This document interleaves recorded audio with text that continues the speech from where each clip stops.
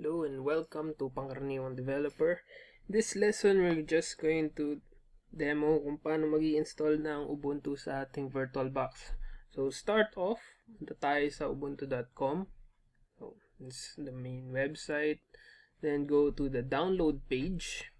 Gagawin natin dito para sa demo na to is yung Ubuntu desktop, yung 32-bit. Ito yung uh, pinaka basic na version ng Ubuntu.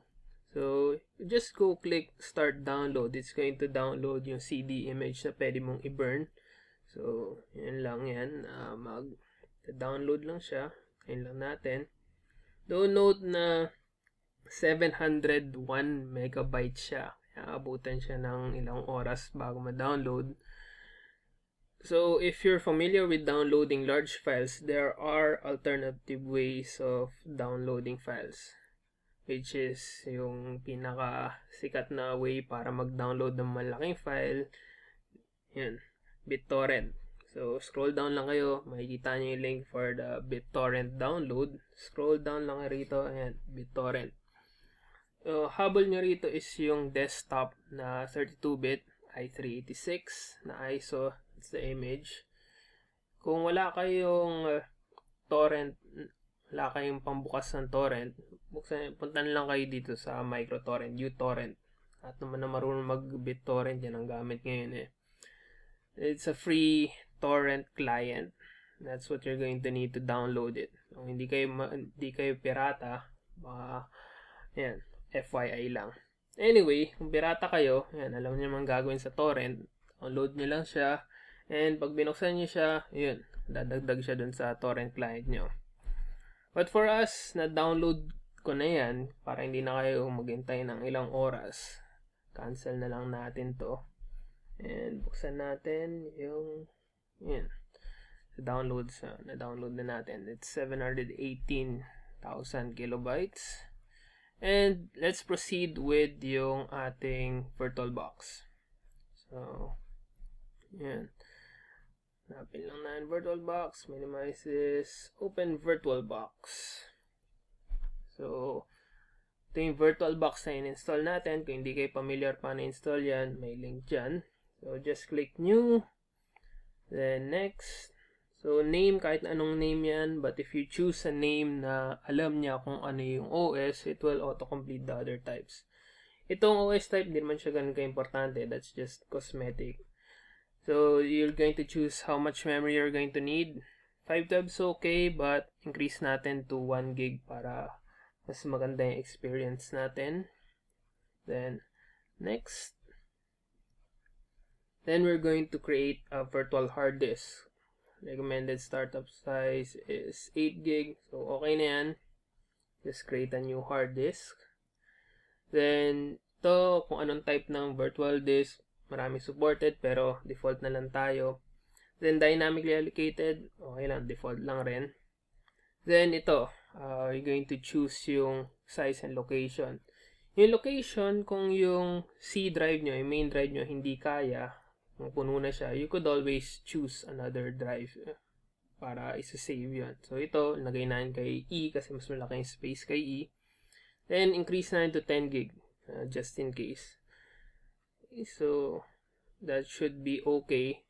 Yun nga, na-choose na before, dynamic yon So, itong 10 gig na to, hindi ito magagamit lahat at this point pag ginawa natin yung drive. Magagamit lang siya pag gagamitin na siya. So, dynamically allocated yon Kaya, huwag niyong problema na mauubos yan. Kaya, tuloy lang tayo. Yun nga, dynamically allocated. Then, tapos na. Summary na lang to. Then, let's go create this.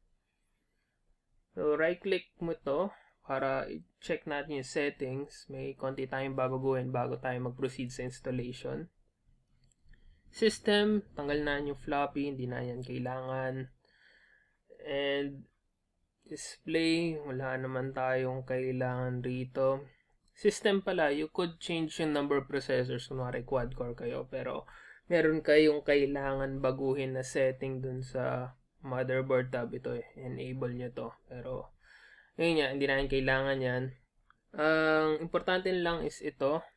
i-set up natin na yung ating dinownload na image, isasalbak na dito sa IDE controller na lugar na to para yan, parang nagsasalbak tayo ng CD dun sa drive. So, ito, choose CD, yan, DVD image natin, yung ISO na download natin, and that should be okay. Yung network, to, kinlik na natin kasi you could choose between NAT and bridged adapter. Yung bridged adapter, it's more of kung kailangan nyo na yung virtual machine nyo ko connecta diretso dun sa router. Bibigyan siya ng sarili niyang IP. That would be important if you're doing web development. Pero for our case, hindi naman na kailangan yet. Yun lang, FYI lang yung kanina. So that should be okay. So let's proceed with the installation. Just double click this to start. Doon lang, may sasabihin information na pag uh, nasa VirtualBox kayo, kakainin niya yung keyboard mo. Parang hindi ka makakagamit ng keyboard, hindi ka makaka-alt tab. So, makikita mo yan using yung icon. Yan. Pag nakailaw yung icon, makakaalis ka lang doon pag kinlik mo yung right click. So, yan lang yan. Yan. Take note nyo lang yung icon na yan. Pag nailaw yan, So, don't show this message again kasi maraming beses mag-switch-switch yan. Ito, don't don't mind this. Ito lang sasabihin niya yung 32-bit color. Hindi ko kasi naayos yung color niyan. Same thing dun sa mouse. Pag nakailaw yung arrow na yon hindi mo matatanggal yung mouse dun sa screen. Okay. Ito lang, uh, yung sinabi kanina kakainin yung mouse mo, some OS supports na pwede kang mag-switch between dun sa host at dun sa guest. So, yung host, yun yung main mo. Yung guest, itong tumatakbo. Pag, uh, yun, pag nakailaw yun, yung arrow na yun, pwede kang mag-move between na walang problema. Anyway, so itong loading na to, sometimes mabilis to, sometimes mabagal, depende sa system mo. Uh, note lang na for this video, inedit ko na to, na edit na to na it's a lot faster. Kaya yun, bigla lang sumulpot yung ano, kasi marami na akong kinat. Kasi matagal talaga tong installation na to. Depende, depende sa ano nyo.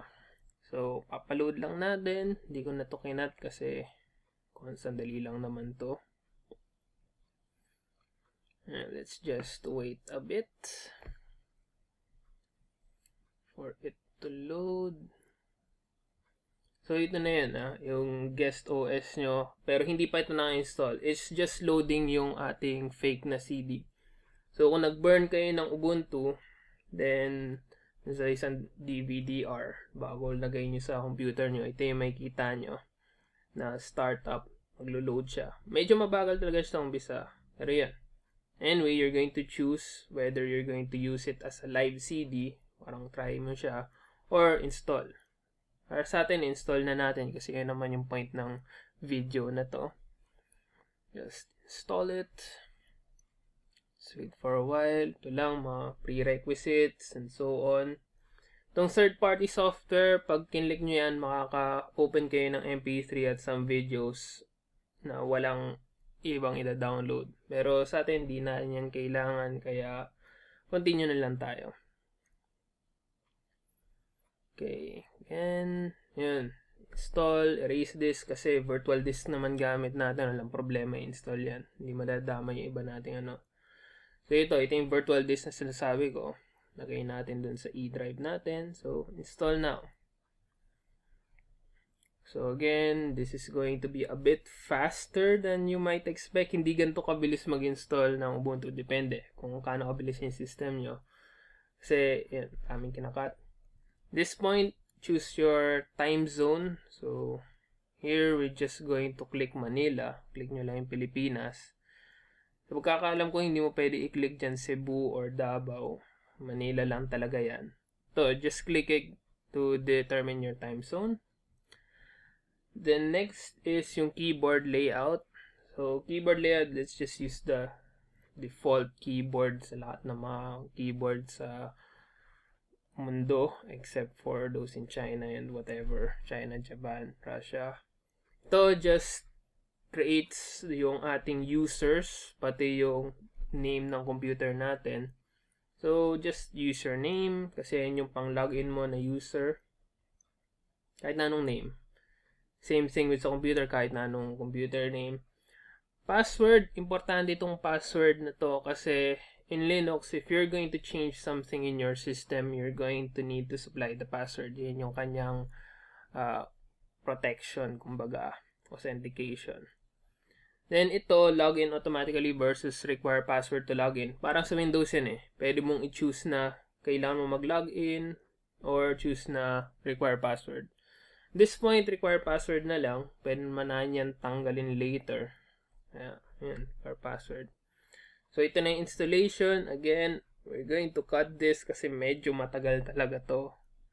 Pero habang nag-install, may slideshow dyan pinapakita yung mga features ng Ubuntu. Gaya niyan, skip tayo ng konti. Ayun, panoorin nyo na lang or iwanan nyo na lang. It's just going to install it in its own. Wala na kayong ibang ganong gagawin dyan. So, yan. Kinat ko na. Diretso na tayo rito. Just click the restart now. And, yan. Shut down siya. Meron ba siyang isang sasabihin rito eh? uh, parang uh, tatanggalin mo yung CD sa drive, DVD sa drive, and press enter. Pero since automatic nga niyang ineject yung CD, yan, you would see na wala na, hindi mo na kailangan ma-remove kasi na-remove na siya. Just press enter and let it restart. So it's restarting. May take some time para mag-restart. Pero since fast forward na natin yan, tuloy-tuloy lang. So, mm-hmm. so yan, log in. Type nyo lang yung password na sinabi nyo kanina. And, there it is. You now have a working installation ng Linux as a guest dun sa ating host na OS. So, you're running Linux on top of Windows. Hindi mo na kailangan i-dual boot. If you want, you could press yung Windows button para lumabas ka agad to kasi medyo may lino-load-load pa siya. Pero ito yung launcher. So, press the Windows button. You could do stuff na you would expect sa isang modern OS gaya ng Windows 7 and some Mac OS X, OS 10. Depending how you turn that. One thing lang, kailangan nyo install yung guest editions para mas maganda yung experience nyo. Guest editions, well, installs additions. Ignore lang na ito, complete language support. Well, later na lang yan, automatically naman magpa-pop up yan eh. Anyway, itong guest editions, yan, rarun lang natin. We trust it, so let's just run it. Click. And yun. Ito yung sinabi ko kanina na i-enter nyo yung password nyo every time may babaguhin kayo sa system. So here we're installing something, babaguhin nyo yung system natin. And yun, may install siyang drivers and all that. So, return to close this window, press nyo lang enter, then restart your computer para ma-apply yung changes. So, rito, mali, hindi dapat shutdown yan. Pero okay lang yan. Shutdown, restart, pareho lang yan. So, double click again to start. The magic of video editing. Na fast forward natin lahat ng kalokohan na yun. And, there it is. Password, pasok. Papansin nyo na nung na-install na yung VirtualBox Guest Editions, mas maganda na yung support niya para sa display yan, na uh, change natin yung screen. Okay lang, wala nang problema.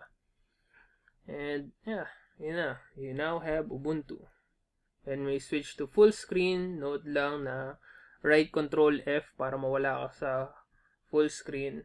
And yun, you're running Ubuntu on top of your machine. So, N9 mag Windows Terminal.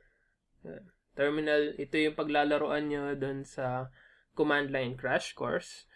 And, yeah, yeah, yan na yung Ubuntu. Yan, may lumabas na na update manager kasi sa Ubuntu you could update your system. So, yan, that's it. That's how you install Ubuntu and proceed na lang kayo sa kung anong gusto nyong punta.